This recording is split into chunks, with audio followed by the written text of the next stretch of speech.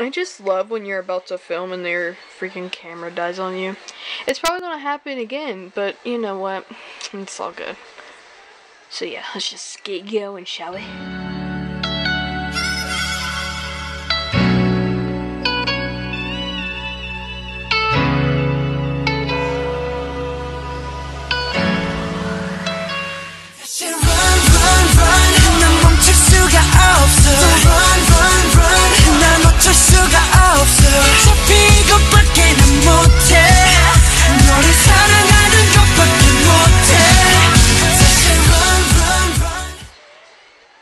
Everybody, this is Horseover1317 and I am here to do a review on the Breyer horse model Hwin.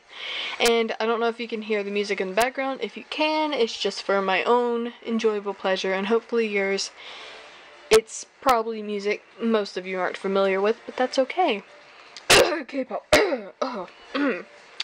anyway, so I'm gonna just start off with her box. Feel free to just pause so you can read the back.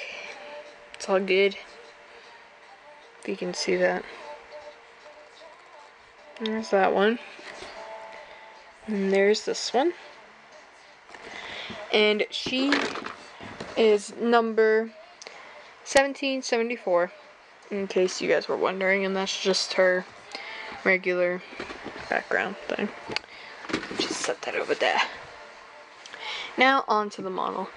I kind of want to get most of this done before my camera dies because it looks like it's going to die again. Hopefully it doesn't, but you know how it is with technology these days.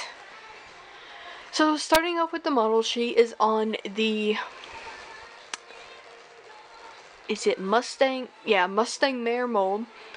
And she is a dapple gray. She is a Mustang because she has her brand on her neck. I didn't know that was her brand till I got her and I was confused and then people told me that she's a Mustang and it's just her branding because Mustangs usually get branded. So yeah, let's just get on to her beautifulness, shall we? So she has amazing dappling. Mine came with very subtle dappling. Like you can still see it, but it's not like fish scaly in my opinion. They're like really soft and nice and I love it. She has two socks. She has one on if you're facing her, it's her back left, and one on her front right. This is if you're facing her. And then she has just a beautifully shaded um, mane, as you can tell, and her beautifully shaded tail. And then I do believe she doesn't have detailed eyes, it's just black eyes with white. Like so. And then here's her other side. She has shaded legs and she even has striping. There's some of the striping right there. And then some more. She has a bit where her white is. You can see it better on this side. Right there. So onto her flaws. The only flaws mine came with were shiny marks.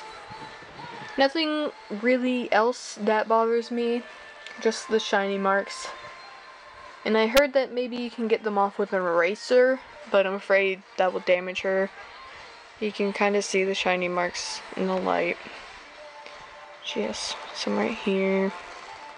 I mean, they're really small, but there's many of them, which is the problem. So if you're thinking of getting her, just um, be aware of the shiny marks. Also smudging on her two white socks, on her hooves, and then I do believe that's all of the flaws. So let's just move on to the size comparisons.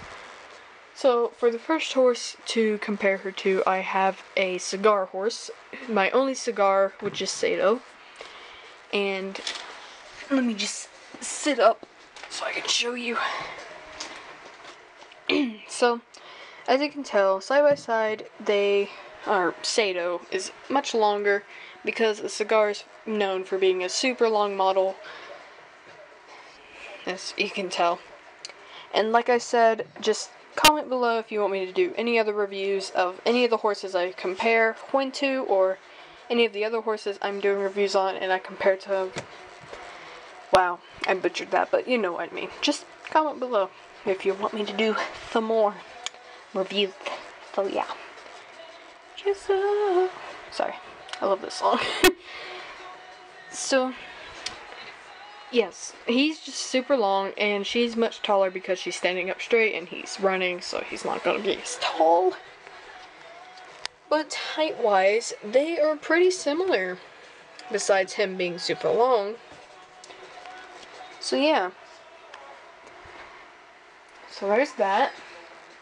I'm also going to compare her to Flash Mold, which is Juniper. As you can see, they're very similar in size. She is taller. Be oh, oh god, she's taller because she is standing up straight, and he's not. He's kind of prancing along like a beautiful horse he is. From the side, it's kind of just like, you know, like that. And one more model I want to compare her with is the Giselle mold, and the only horse I have on the Giselle mold currently is Gigi Valentine. So this is her. And again, Hwin is taller because she is standing up straight, and Gigi Valentine is sort of just walking along. And that's what they look like from the side. So, yeah. Would I recommend this horse? I would recommend Hwin if you are in love with this type of mold and if you are in love with dappled grays and mustangs.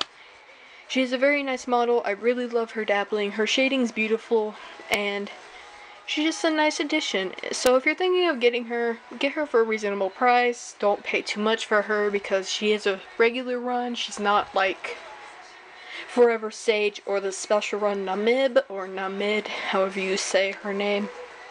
His name, it, not really sure if it's a boy or girl. Thank you guys so much for watching. I hope you enjoyed this video. And I will see you in the next one. Bye-bye.